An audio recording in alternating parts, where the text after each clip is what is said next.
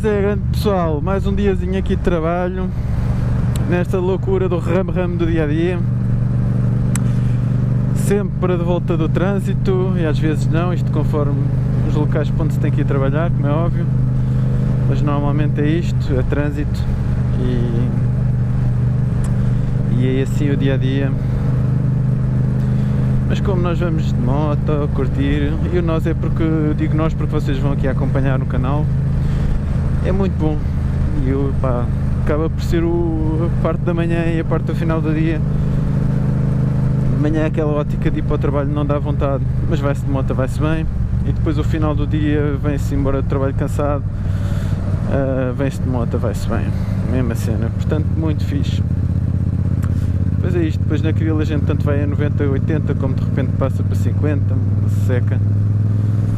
Mas estes tostões são o que são. E como é assim, temos que ir aqui no ritmo da velocidade deste trânsito chato.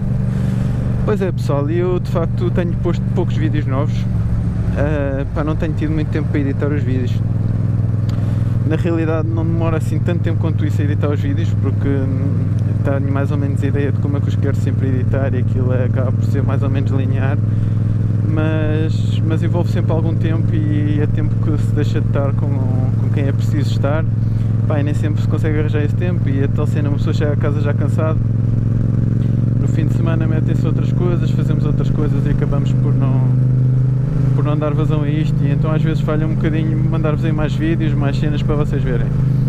Pá, ainda assim, e uma coisa que eu gosto muito de ver, o canal tem crescido muito, o canal está com 900 e qualquer coisa de subscritores e pá, isso é muito, muito fixe, é algo que me dá mesmo, pá, mesmo eu indo pondo poucos vídeos, é algo que eu quero continuar a ir pondo, que é para vocês acompanharem, verem aqui as minhas aventuras na minha Bullet, nesta máquina aqui é MT-07, pá, e que a malta vai fazendo sempre muitas perguntas para, para saber como é que funciona, como é que custa, o que é que não custa, quanto é que se gasta.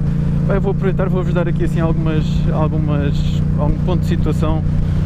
Pá, a moto só para, para fazer assim um ponto geral. Moto nova custou-me, pá, com os extras e tudo, ficou ali quase, quase, quase em 8 mil euros, nova.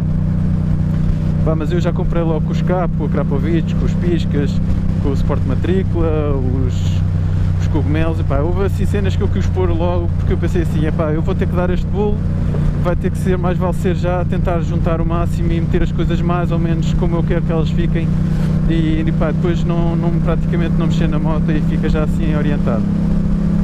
Epá, então foi isso que eu fiz, foi deixar isto já mais ou menos orientado e foi logo esse rombo à cabeça. Pá, depois temos os equipamentos, mas isso eu nem vou falar porque tipo, os custos para um equipamento base podem, pá, vocês conseguem, conseguem com cento e poucos euros arranjar o base e depois vai até aos milhares arranjar uh, uma cena já toda XPTO, portanto nem vou estar a atravessar-me com valores. Em relação à moto em si, uh, temos o imposto de circulação, não é? E são cerca de 50 e qualquer coisa euros, acho que não chega a 60 euros, portanto são quase 60 euros por ano a nível de seguro, pá, eu não tinha a carta de moto há muito tempo quando comprei a moto, tinha tipo há 6 meses, acho eu. Portanto, carta de moto, a carta de carro já tinha mais tempo. Portanto, o melhor seguro que eu arranjei, que eu acho que até foi razoável, foi 100 euros ano. É esse que eu tenho, foi numa cena que é o Vitorinos Seguros. Na altura eu acho que até, pá, eles têm algumas cenas dedicadas às motas e eu acho que é onde se conseguem melhores preços.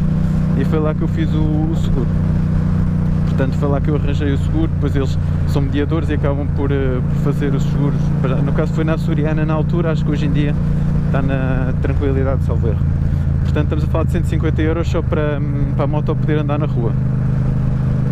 Cenas de desgaste, uh, pá, fui às duas primeiras revisões com a moto, como foram no stand em que comprei a moto, a mão de obra estava incluída, portanto a mudança de óleo e cenas que possam ter feitas que eu, muito sinceramente, eu acho que foi pouco mais do que a mudança de óleo do filtro de óleo, tenho essa percepção, foi 50 euros cada uma, portanto eu acredito que de futuro, com mão de obra incluída e mais algumas peças, isto, as, as manutenções, que devem rondar cerca de uma manutenção a cada ano, mais ou menos, anda por aí, pá, eu atirava-me à vontade para os 100, para os 100 euros, não duvido que, que seja muito mais do que isso, não acredito que seja menos, portanto podem pôr mais 100 euros, portanto estamos a dizer que por ano esta moto para se manter eu não vou falar em pneus e nessas cenas porque isso então aí e gasolinas que são, são as cenas desgaste, portanto isso aí em qualquer moto vai ter. Esta moto, assim, a manutenção por ano ronda, dir-vos-ia que ronda para os 250 euros. É sensivelmente isto. Depois a nível de consumos, é isto, pá, é assim, vocês, depende muito, depende mesmo muito do vosso pulso direito. Se o vosso pulso direito tem tendência a ser nervoso, vai gastar mais. Se o vosso pulso direito é mais controlado, conseguem fazer consumos fantásticos. Vejam, eu vou aqui na, na Krill, tudo bem que vou aqui certinho neste em Gonhas, mas vai tipo, vou 90, vai gastar 2.7 aos 100. Pá, isto não é nada, isto é uma 700, neste né? tem, é uma 700 tem 80 cavalos, com o escape não sei o que, tem cerca de 80 cavalos, nós não chega. Portanto, não me parece nada. Consumos médios rondam sempre os 4 e qualquer coisa. Pá, e se eu andar assim um bocadinho mais esticado, vai aos 5. Mas é muito residual, mesmo.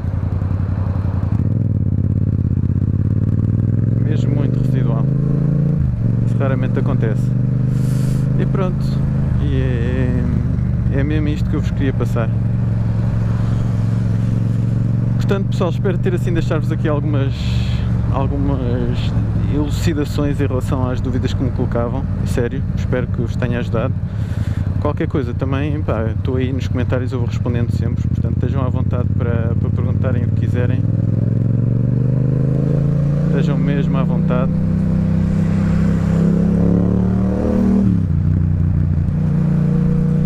Qualquer coisa, chutem. Bem pessoal, acho que por hoje eh, tenho aqui o meu vlogzinho feito Espero pôr isto no ar para vocês verem o quanto antes, porque senão, em vez de ter os 900 e qualquer coisa subscritores que eu tenho, se calhar já vou ter mais. Pá, eu estou mesmo desejoso de passar a barreira dos mil, acho que é um marco significativo, portanto conto convosco para, para ajudar a, a divulgar o canal. Como sempre pessoal, deixem as vossas opiniões, façam os vossos likes, os vossos comentários, partilhem o vídeo, façam, façam o que quiserem, chamem-me nomes se quiserem. Não, não chamem, estou a gozar, não façam essa merda que senão não curto isso. Mas um grande abraço a todos, pessoal. Fiquem bem. Grande abraço mesmo.